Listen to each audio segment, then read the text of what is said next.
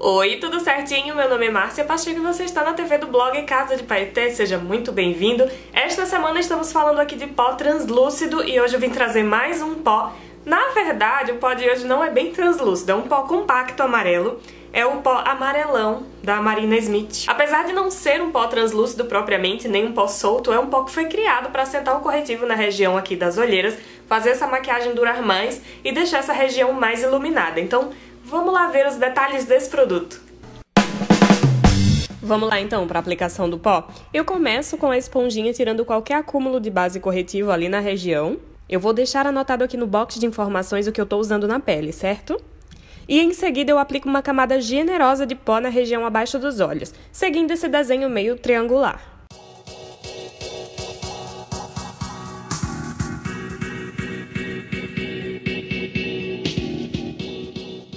Outro lado, eu aplico com um pincel bem fofinho pressionando e girando, para ver se o tipo de aplicação interfere no resultado.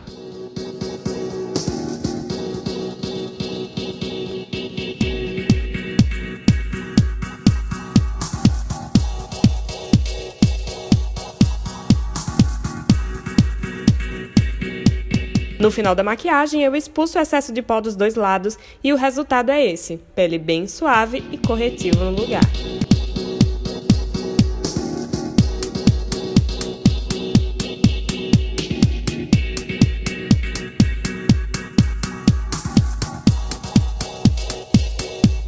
O legal da tonalidade amarela é que ela ajuda a disfarçar as olheiras que tem o fundo mais arroxeado. Ela dá um help ali no corretivo, sabe?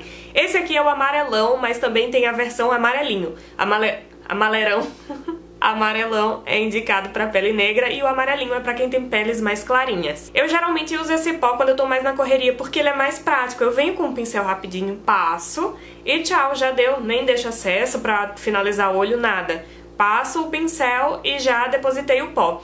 Dessa vez eu apliquei dessa maneira porque é como eu venho aplicando os outros e devo dizer que eu amei o resultado desse lado aqui que eu apliquei com a esponjinha úmida. Vou aproximar aqui para mostrar pra vocês, eu não sei se a câmera vai pegar essa sutileza, mas ó, enfim, eu acho que a câmera não vai conseguir mostrar, mas eu acho que esse lado aqui, ó, tá bem mais sutil a cobertura. A pele tá mais sutil.